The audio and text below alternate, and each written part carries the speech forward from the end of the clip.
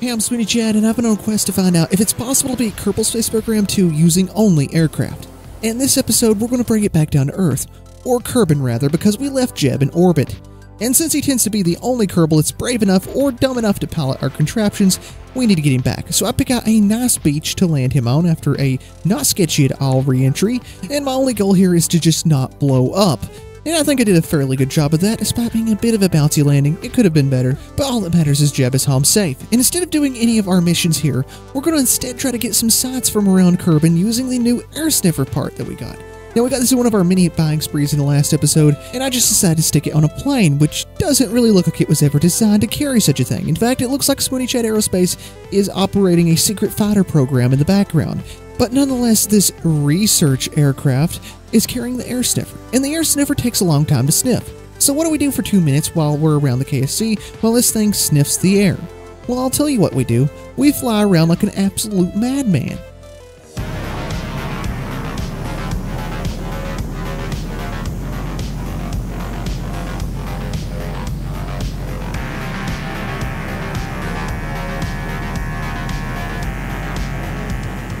So after unleashing our inner Top Gun, we decided it's time to go back to the ever-boring science, and I decided that the best place to get science would be over top of the water. And I also realized that we literally packed absolutely no fuel in this thing. The only fuel in this was that tiny engine nacelle's spare fuel, which is like 80 points or something like that. But we did get our science, but we're a long way from home. so uh, we had to end up ditching this in the water, but we ditched it very softly, might I add, and our baby boy Jeb was absolutely fine and dandy. But now that we know that there's actually science to be had just around Kerbin, I decided to build the ultimate science plane, something that could stay in the air for extended amounts of time and fly great distances to every biome I needed to go to. Unfortunately, we didn't exactly have the biggest landing gear, so it did come out a little bit bouncy. And after a quick, safe, and comfortable reset of the landing gear, it was working pretty good. And despite having an ungodly amount of fuel on board, it actually flew pretty good too. So I made a few more tweaks to it and added flaps to lower the landing and takeoff speeds a little bit, and just like that, we're off for our maiden flight, carrying both the Air Sniffer and the Science Junior on board. But the first real test of this is going to be seeing if we can actually keep it over the same biome for the entire two minutes that the Air Sniffer needs to get the report. And not being a helicopter, that turns out to be a lot more difficult than you might think. But we do get our science, and all that's left to do now is to plan our flight. We're going to try to maximize the biomes that we visit, first heading out to this island and then heading inland to the desert, and then going straight from the desert back to the KSC and landing. And I believe this beast of a plane is more than up for the task. So first out, we're going to head out to this island, and it takes quite a while flying over the ocean. You would be surprised to get to this island.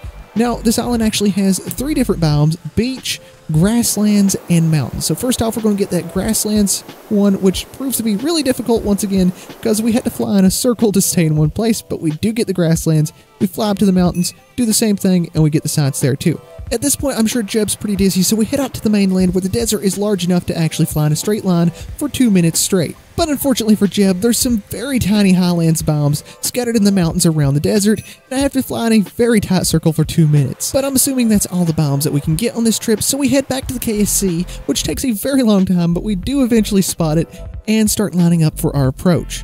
And if you've been around the channel for any amount of time, you probably know that my landings usually suck. And to add to this sucking, I'm still very much in the learning curve of the flight stick that I'm using, and this is my first time landing this aircraft.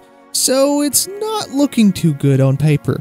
Or real life for that matter, because this wasn't our first attempt. In the first attempts, actually, we didn't even get it lined up with the runway. But in this one, in this one, it was looking really, really good for us. We were slightly off the center line, and that's okay. I mean, it's better than the usual beach that Jeb lands on, so I imagine that the Kerbals are absolutely tickled with this. It's around this point that I realized I had absolutely no idea what my descent rate was, and I completely had to eyeball it. We floated it a little bit, but we brought it down so smooth.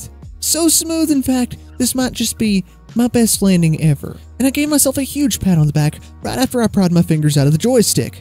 And despite having a drag chute and reverse thrust, we did need to tap the brakes a tiny bit and be very careful because it had a bit of a wobbling issue, but we did finally get it to a stop very safely. And we actually traveled over 700 kilometers in that flight and got almost 200 science points. But now we're going to move right on to doing the Kerbostationary Orbit mission because we can never have enough science points. So we just took our SSTO from the last video and made some minor modifications to it and gave it a new paint job to signify that it's a new model of SSTO. This is our currently our only real reliable working SSTO. We do have the one from the very first videos, but it's using some rather old tech. This is basically going to be a direct descendant of the Minmus mission from the last video, but hopefully a lot more efficient this time, and with a solar panel, of course. And we're going to get this up to a fairly high orbit because our payload needs to get up to a very high orbit. It needs to get up to geostationary orbit, kerbostationary orbit, basically where it stays in the same place over Kerbin at all times. And our payload was very eager to get there in a hurry. Yeah, I don't know why it flew out like that. It was a little bit weird. But uh, we do actually have a solar panel this time. The uh, satellite is upgraded with a new solar panel, which uh, surprisingly doesn't throw off our uh, center of gravity at all, thankfully, because we need to do a lot of burning for this and get it out basically halfway between the Mun and Kerbin. So we do need to have a very specific orbital velocity for this, and it turns out you don't actually have to be exact. And here's what Kerbostationary Orbit looks like, and here's what the science reward for that looks like. Very nice. But we have our ever growing issue of Jeb being stranded in orbit. Well, not stranded, he can come back home, but it's just very scary to get him back home, especially with the new re entry heating and the way that it behaves with wings. Yeah, if you tip up the wings in any sort of way, they rip off immediately. Much more realistic to real life, I feel like, but uh, not what you're used to in the original game. So we do finally find a beach suitable for Jeb's landing. And yeah, the plane uh, the plane's got some issues. Uh, this is why you always check your dry center of mass to center of lift, uh, folks. You empty the craft of all of its fuel and make sure that it still operates as a plane with no fuel in it. Because, uh, yeah, this happens. But Jeb survived this one, so, you know, good enough for us. Uh, he can he can go sort that out with the hospital later. Because right now it's time for a shopping spree. That's right, we picked up some brand new parts. These are going to help us so much in building much bigger space planes. I take a look around and I'm trying to figure out what to buy, so we end up buying this node, which has a few cool parts with it. It has some neat little adapters and stuff. Parts that I'm hoping will help us send a 200 ton lander to Minmus, which is exactly what our little chunker probe wants us to do. And I decided to send a 200 ton SSTO to Minmus. It turns out, though, that's not quite as straightforward as it might sound, because I went through a lot of designs. First off, we started off with a seaplane. It blew up. We went with another seaplane. It blew up. The next one blew up. Then we went with a ski plane, seaplane. It blew up too. Uh, we went with a land-based one. I bet you can guess what happened to that one. Yeah, it blew up. It didn't even take off the ground. None of these has taken off the ground yet. But we did start getting more success slowly, and uh, we did get off the ground. And eventually, I came up with something which is both heinous and beautiful at the same time. But that's going to have to wait till next episode, unfortunately, because it's going to be a very big mission. On the left hand side of your screen are some pictures sent in by viewers just like you, and on the right hand side of your screen is either the next episode or the last episode, depending on when you're watching this. And thank you so much for keeping up with the series. I'll see you next week.